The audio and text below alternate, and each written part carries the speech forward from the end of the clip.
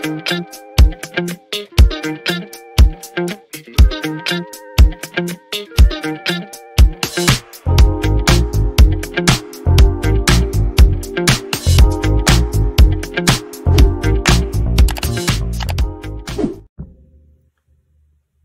the Lord, saints, and welcome back to FFT, Food for Thought Ministries, where we move with purpose in our walk with Christ over here.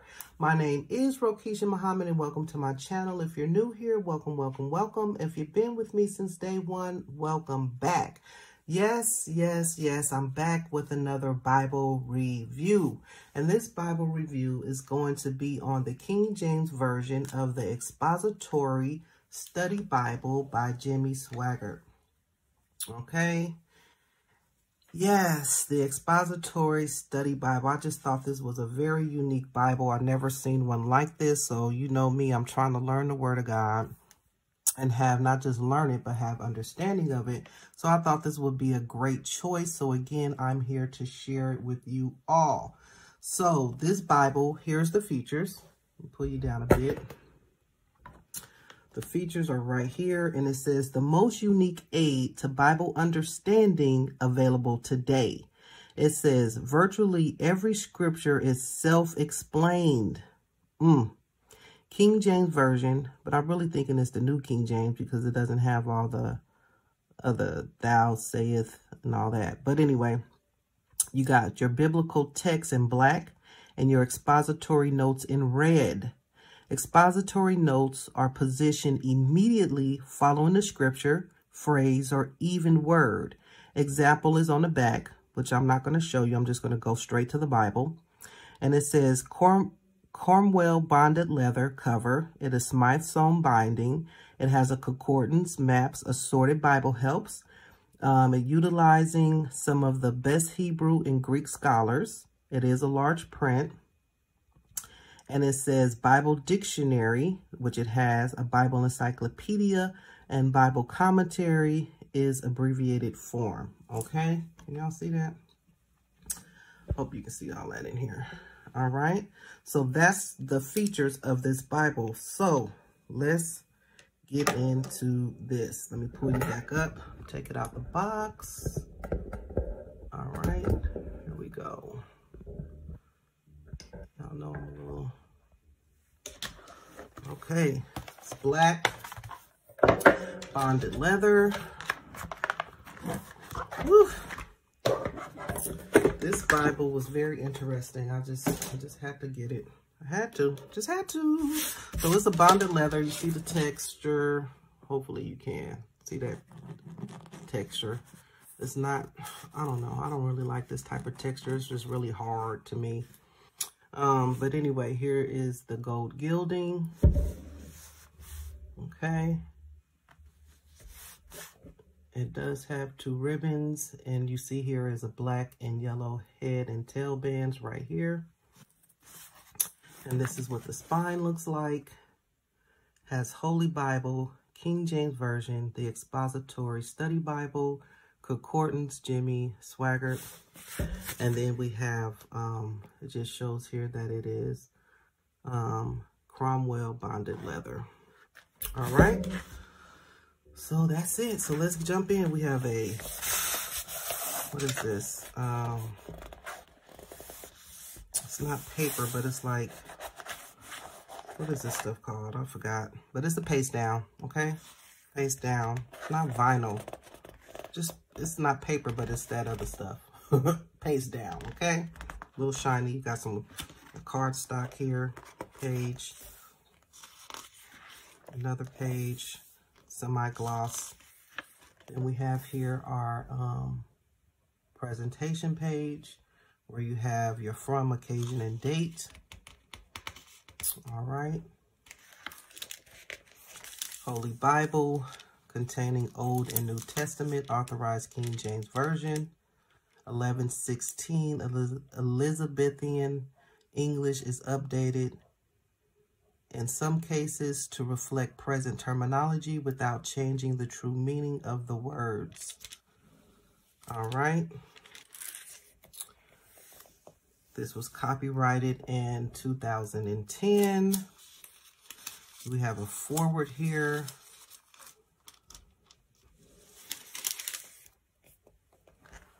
And we have seven reasons why the Expository Study Bible will help your understanding of the Word of God.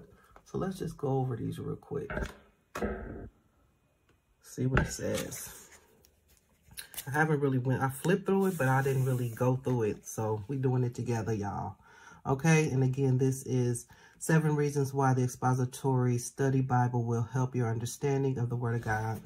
Number one, the King James Version is used with exception of the Elizabethan words such as ye, has, thy, etc. In some cases, changed to words presently used, making the text much easier to understand.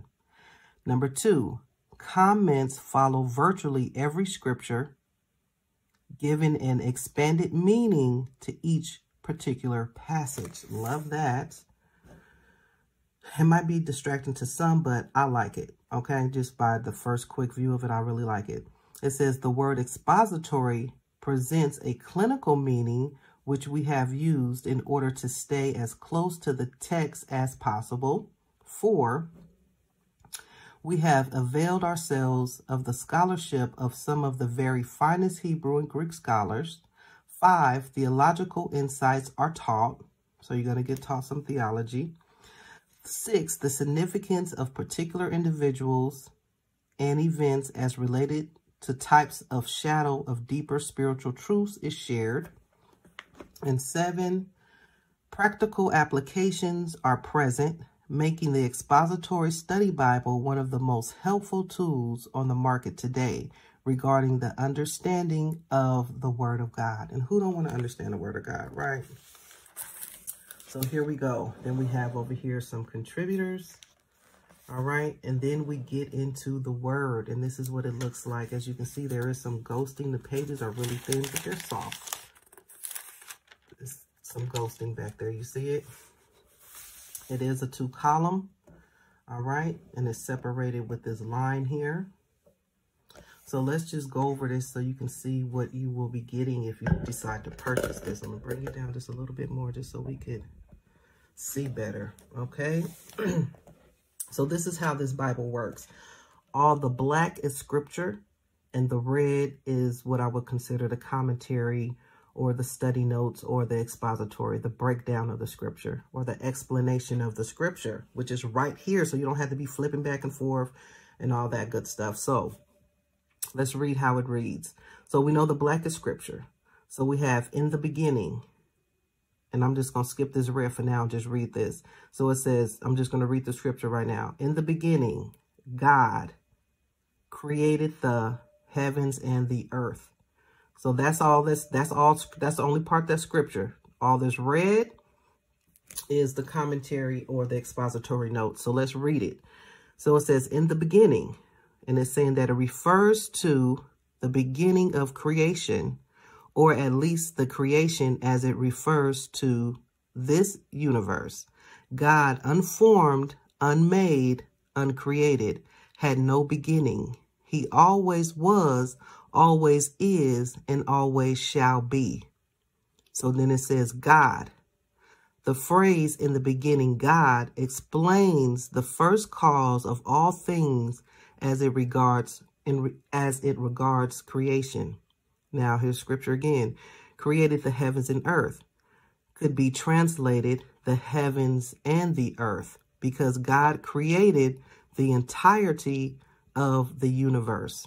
Now you see that kind of broke that broke that down. I like that. I'm just gonna read the next one and, and then that's it. So you'll get a feel of it. And this is saying chaos. And it says, scripture in black, and the earth was without form and void, and darkness was upon the face of the deep. So what is it saying? So you read that and you'd be like, what is, okay, what? Okay, let's read. God did not originally create the earth without form and void. It became this way after a catastrophic happening. What was this happening? This happening was the revolt of Lucifer against God, which took place sometime in the dateless past. So it's saying to me, it wasn't without form, but when Satan got down there, it was just, it just got terrible because there was no life, right? It, it became void because God was not present. And that's when Lucifer got sent down, kicked out of heaven, right? And it says, and the spirit of God, which is what it's telling us is the Holy Spirit, moved upon the face of the waters. And then it says, the moving of the Holy Spirit signified and signifies the beginning of life. That's good. That's good. But that's how this Bible works, okay? All the black is scripture and the red is the breakdown of what you just read in scripture. So that's how it works, y'all. It's pretty simple. I don't see a lot of cross-reference or anything like that. Okay, so the black is the scripture. Pull it back up a little bit. The black is the scripture, okay? And the red is the expository notes. You got your headers, you got your chapter sections. Okay. All right, this is, let me just get into, into, okay, this is the poetic, this is the Psalms. This is how the poetic setting looks, and even breaking that down too. So you got your, this is what your poetic setting looks like. Still broken up in two columns. You have your headers, your little bit of introduction here on what you're about to read. I always love that. All right. Here's Isaiah. Let's see what, um, and this is what the beginning of the chapters look like. The introductions are actually in the back of the Bible. We'll go there in just a second. Just still want to give you a feel of how this works. So if you don't like red letter, that's not going to work for you. If you're distracted with the explanation in between the scriptures, this ain't going to be the Bible for you. But I like it. Okay, I like it. It doesn't distract me because I like to go one word at a time anyway when I'm reading to make sure I'm pulling out what principles and instructions and decrees and precepts God has given me to apply to my life. So that is very helpful to me. Everybody ain't gonna like it. Everybody ain't gonna get down with it. Everybody don't like um, Mr. Jimmy either. So that might be an issue on all by itself. But to each their own. I like it. Okay? So here we go. Let me just go on back here to the New Testament. But this had it had something between the um here's the ribbon. Two ribbons. We have two black ribbons here. Okay. They're long enough. So you can use it. And here's the other one right here. All right, here is the other. Let me grab this other ribbon. So you do have two ribbons, black, and I think, yeah, satin on both sides. It's nice. It's, it's nice. It feels nice. It's nice and long. I do like the ribbon. It's thin, but it's still um, a nice ribbon. I like it. All right. So, okay, let's get into the new, oh, here it is. That's what I was looking for, between the testaments.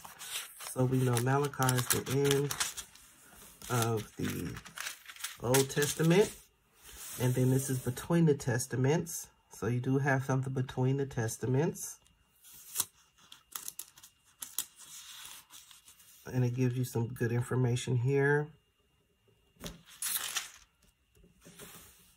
Political preparation, economic preparation, moral preparation, religious preparation. And then you have the New Testament of our Lord and Savior Jesus Christ translated out of the original Greek and with the former translated diligently, diligently compared and revised. And boom, we are into the New Testament here. And we have Matthew, same setup. You have your two columns. The black is the Word of God, and the red is the commentary or the expository notes. So let's just read how it's doing over here. Bring it down a little bit so you can see. So it says the book account of the generation, which is the lineage of Jesus Christ, which is who? The Savior or the Messiah. the son of David, the son of Abraham. The incarnation, God becoming man. Then it tells you, give you cross-reference where you can find that to back that up. Okay, um, Abraham beget, fathered, okay, Isaac, and Isaac beget Jacob. So you go through all those names. So let me just go to something else. Hmm. Okay, this is one. Let's just do let's just do this parable with the wheat and the tare. Because some people don't understand that. So let's just read a little bit. Then I'm to move on. It ain't to take a lot. I'm just to read a little bit. and it says, Another parable put forth unto them, saying, Present the second parable. The kingdom of heaven is likened unto a man, which is who? Christ, which sows good seed. What is this good seed? The seed is the word of God. Don't you love that? In his field, which is what? What is the field? The world. Mm, mm, mm. 25. But while men slept, who are they talking about? The church is often asleep. His, who is his, Christ, enemy came. Who is the enemy? Satan. And so tares, apostates among the wheat, which is what? True Christians, and went his way. Satan works mostly through professed believers. Mm, mm, mm. Okay, I'm gonna stop after this, y'all, because I'm gonna get I'm gonna start getting fired up. But when the blade was sprung up, which means what? Refers to the good seed taking root, growing and having a healthy start. What happens? And brought forth fruit, which is what? What does bringing up fruit mean? Refers to the intended purpose, meaning you have an understanding of what God's word is saying, and so it's starting to bear fruit then then appeared the tares also. What are the tares? The church has both the true and the false. Come on, somebody. So the servant of the householder came and said unto him, what did he say? So this is refers to those who had helped sow the good seed. Sir, did not you sow good seed in your field?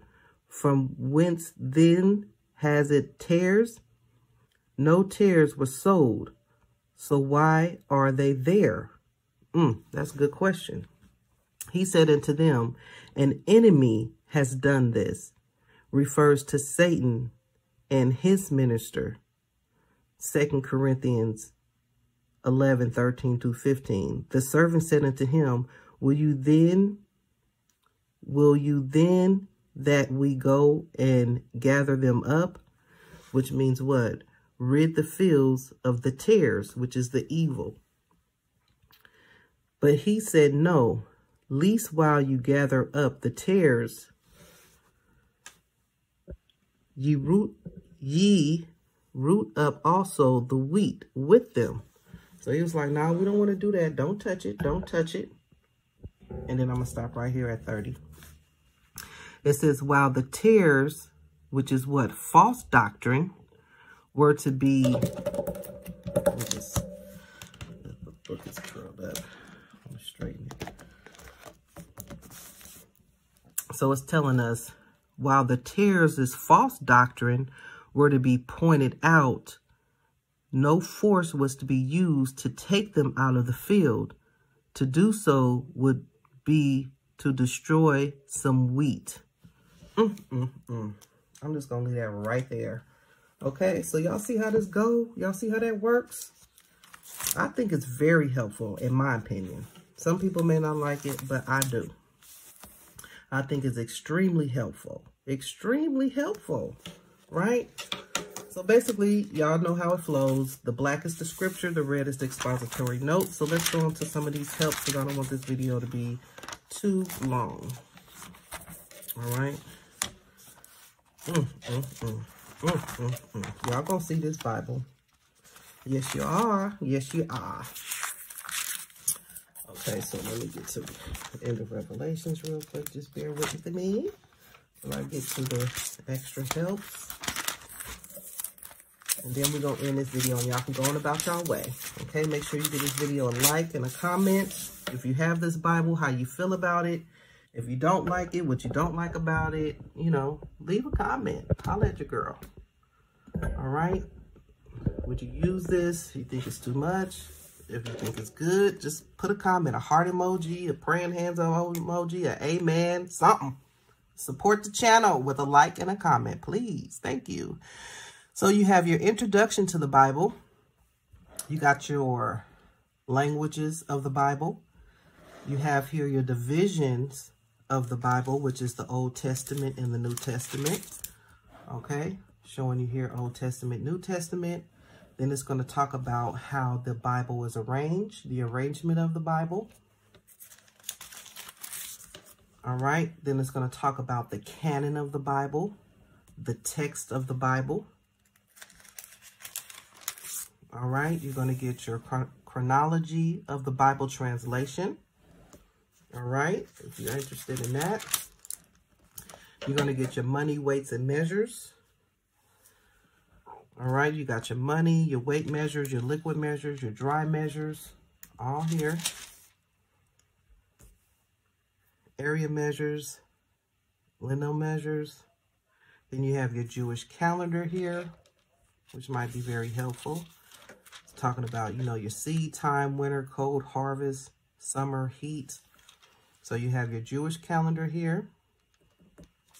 All right, so if you want to know about those feast days and all that good stuff, then it's giving you plants and animals of the Bible. Oh, I like this. It's different. Almonds, barley, cedar, corn, apple, fig, flax. Is that where we get our flax seed from? Okay, we got olives, palm trees, pomegranates, so then it goes into your animals. You got your birds, your fishes, your insects, okay? Then you have over here terms frequently used in the Bible study. So it's giving you some frequently used terms that can be very helpful.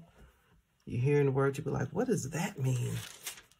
You have your harmonies of the gospel. Incidents of the birth and boyhood of Jesus Christ till he was 12 years old inaugural, inauguration. Can't even say the word. Inauguration of Christ's public ministry. Inauguration. I don't know. I know what I'm trying to say, but it just ain't coming out right. Forgive me. Harmonies of the Gospel still. Don't be laughing at me, y'all. I see y'all laughing. I hear you. I hear you. Okay? Harmonies of the Gospel here we go. Still going on and on. Let me make sure I didn't skip nothing.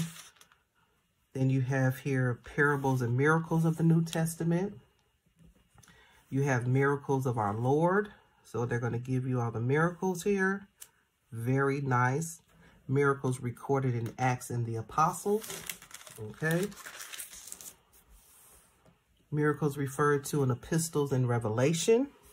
You forgot that. Then you have your Old Faithful Concordance to the Holy Scripture, which is just basically like a little Bible dictionary. Give you a word, and then it tells you where you can find it in Scripture and what, and give you a brief, brief definition of what it is. So that's what a concordance is. So let's just keep on going. I think that's it of the extra helps. I think that's all. Let me make sure. Okay, let's see. Okay, still a little, still a little stuff back here. Okay, so here is the end of the concordance. And then we have what we say. It says, what must I do to be saved? All are sinners. What did God do about this situation? Substitution and identification. What does it mean to believe on the Lord Jesus Christ? So it's giving you some helpful tips here. Father in the faith and not works. It's time. It's time now. This is good. I like this. So yeah, you have all these little topics here. What is a water baptism? The will of God for your life. The baptism with the Holy Spirit. What your prayer life should be looking like. Um, some things that will help you. Church attendance. And then you go over here and they give you a breakdown of the Holy Spirit baptism. Scriptures on the Holy Spirit baptism. It lists them here. Then you have here the cross, your faith, and the Holy Spirit. So it's going to break down what the cross is, if, if, if that was never broken down to you. What faith is, and what the Holy Spirit is, and your victory and restoration. Come on, somebody. And then scriptures for foundation. All right. Then it just gives you a couple of notes, blank pages for notes. If you want to take you some notes here, notes just blank pages here, a few pages. That's good, helpful. Then you get to your maps. All right, and it's on a shiny cardstock. All right. Exodus, the Great Sea, Egypt. I hope y'all can see this. I'm in here the empire of David and Solomon, early Israelite settlement in Canaan, the kingdom of Israel and Judah,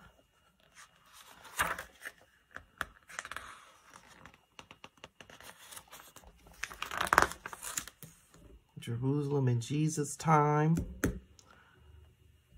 Palestine in New Testament time. Oh, I like that. the Roman world. Paul's journey to Rome. And that's it, y'all. That's it. The spread of Christianity. Then you got this cardstock again with this, um, it's not, I don't want to say vinyl, but I'm going to say vinyl paste down with this, um, bonded leather here. And that will be it, y'all. Hope you like this. Um, I try not to take up too much time. I'm running like 15 minutes, so that's quick for me. Amen. So, yeah. This is what it is. This is the Expository Study Bible by Jimmy Swaggart. Check it out.